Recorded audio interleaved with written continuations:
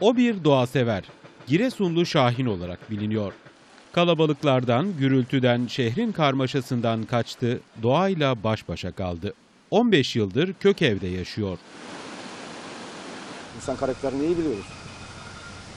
Ee, Yüzde yüzde doksanı yalan ağzından çıktıkları. Daha bu insanlarla bir arada nasıl yaşayayım ki?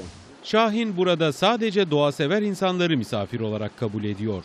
Alınca köyü Yavşan Deresi üzerinde inşa ettiği kök evde ağaçtan yapılma köprüler, kuş sesleriyle huzur bulunan kamelyalar, çocuklar için oyun alanları ve görüntüsüyle insanları mest eden küçük bir de şelale yer alıyor. Ya doğaya geldim baktım ki doğa çok güzel. Harbi, dobra. Toprakla tanıştık, suyla tanıştık. Hayvanlarıyla tanıştık. Baktık ki ah, çok daha iyiler. Harbiler, dobralar. Şahin 15 yıl önce inşasına başladığı bu yerde bir süredir eşi ve çocuğuyla hayatını sürdürüyor. İnsanlardan kaçtım öyle diyeyim ya. Kaçtık geldik 15 sene önce işte attık demiri buraya. Bundan sonra herhalde ölene kadar da o demir kalacak oldu yani. Kentin gürültüsünden kaçmak isteyen herkesi davet ediyor. Ancak bir şartı var. Akşam saat 20'den sonra gelmeyin diyor.